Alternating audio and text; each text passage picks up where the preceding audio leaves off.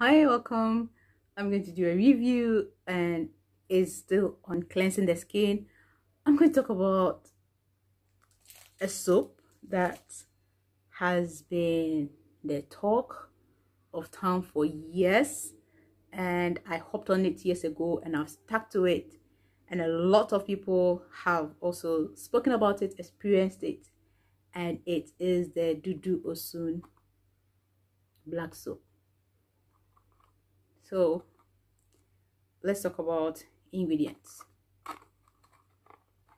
First it has palm kernel oil the oil from the palm fruit the nuts right? Not the fruit the nut the one from the fruit is the palm oil the one from the nut is the palm kernel oil the kernel right the nut i hope it makes sense. And then we have cocoa pod ash palm bunch ash, shea butter, water, pure honey, lime juice, osun, which is the camwood, and then aloe vera, lemon juice, and fragrance. So Dudu Osun is an age-long African black soap made the traditional way by hand from pure natural ingredients and herbs from the tropical rainforest and savanna regions. No artificial colors, no preservatives, biodegradable. And it comes in a box like this with the plastic wrapper and the soap is black. Black soap smells amazing. A lot of the black soaps we have do smell ashy. This has citrus the lime lemon scent and i love that. So it's not like you're using black soap and you're smelling like black soap. So i love the smell. And for this size i'm able to use it for six months. And sometimes even using it as a bath soap and you can also use it to shampoo your hair because it's black soap with natural ingredients so you get to use it in three different ways shampoo face body all in one. okay so so now let's talk about more about the uses so it cleanses nourishes protects and refreshes your skin be it body or face. Now, as a face soap, after doing the first step cleansing, if I'm doing the first step cleansing, this is the soap I will use to wash my face or I'll use any other face wash. It's very gentle, that is one. It doesn't irritate the skin. It doesn't dry out the skin because of the oils and the other ingredients. Palm um, kernel oil is really really widely used when you go to the interior the villages for so many things for cooking for body um, lotions. Therefore i wasn't surprised that it's in the in the soap to nourish your skin. It is one of those oils that i think we underrate but it's an amazing oil for our hair and skin. Again it also has honey and also aloe vera so hydrating ingredients. And then it has lime and then lemon juice to help with the skin glowing. And then the main thing is the osun the camwood. I will insert the use of the camwood so you see it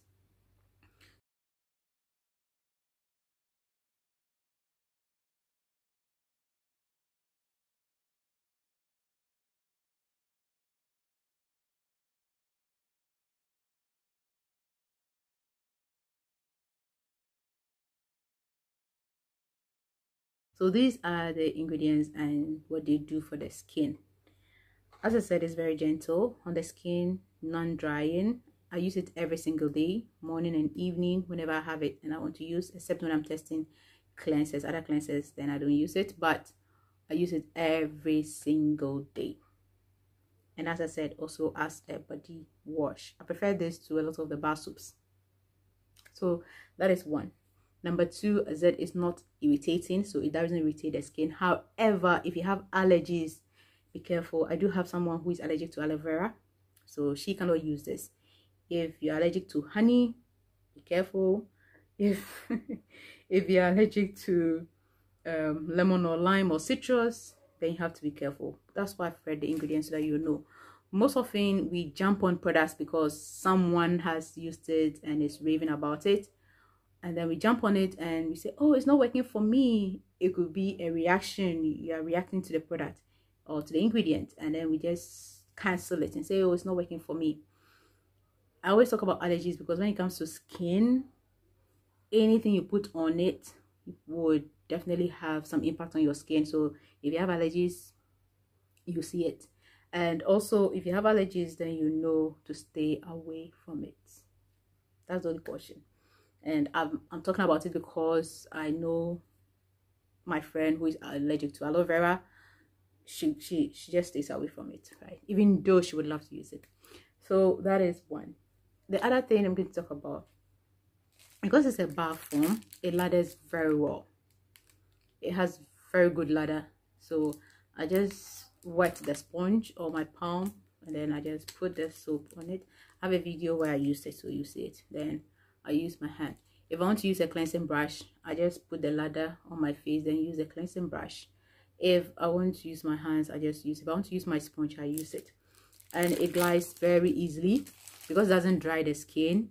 When you apply it on your skin, you actually feel the soothing effect of the soap on the skin. It's really, really soothing.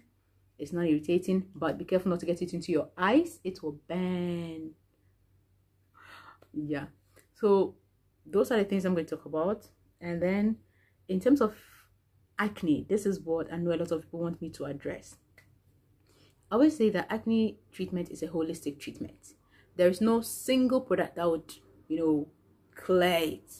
If you're going to use any product, it should be in conjunction with something. If you're going to use, let's say, uh, a scrub, you would definitely have to wash before you use a scrub. If you're going to use a chemical exfoliating ingredient or a toner, you have to wash your face before you use it. You can't just use one product and expect that you get the result. A lot of times people come and they say oh my friend was using Dudu Osun and the acne has cleared up and all that. And i can bet you all the youtubers who've used it it's not like they just use the soap and they leave their skin like that. They flow up with other products either moisturizer toners or serums. Almost everyone who uses it does something extra after using the soap so using the soap is not the all in all you know you need to hydrate your skin moisturize your skin in order to see the benefits because these things will definitely work on your skin and whatever blemish you want to control or get rid of or the spots and all that. But that is not the end point. After using the soap you need to moisturize your skin and then you'll be able to see the benefits. So yes I do know that it helps a lot with blemishes. That's the reason why I like to use it. It cleanses my skin very well without drying it. Therefore, I do not have issues with dry skin. But again, I'm not expecting it to do all the work. I flow up with my moisturizers and serums and my skin stays clean, supple, soft, and hydrated. I tend to have dehydrated skin a lot. My skin cannot tolerate a lot of exfoliating. So even if i use one exfoliator i have to hydrate it so much to prevent the dryness. And the first step in everything is to make sure what you're cleansing with doesn't dry your skin so that any other thing you're using would um, help your skin. It's the same thing that applies to hair. If you want to have moisturized hair you start off with the kind of shampoo you're using. The same principle applies. If you're going to have dehydrated skin then you have to use a product that will help your skin maintain the moisture. Okay. So that's what i'm going to say about the dudu osun yep. And if you have any question you can drop it. If you want any of the products i review you can check my shop at empress glam hub on instagram and also www.ghanaianemprezz.com that's where my um, blog is and also shop.ghanaianemprezz.com i'll link them below so you can check them out. Don't forget to subscribe if you've not. And stay blessed stay tuned for more videos nothing less. Bye bye